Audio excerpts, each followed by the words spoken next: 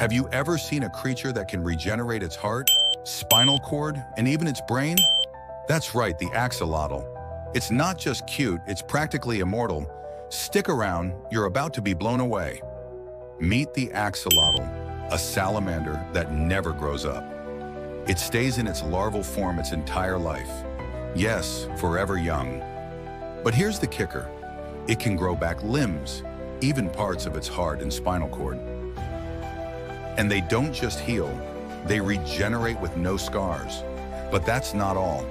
Scientists are studying these creatures to unlock secrets for human healing. Imagine, regrowing a damaged nerve or even a limb. They live in one place, Mexico's Xochimilco Lake, but habitat loss is pushing them to the brink of extinction. Here's the shocking part. There are fewer than 50 wild axolotls left. Can you believe it? These regenerative masters may disappear forever,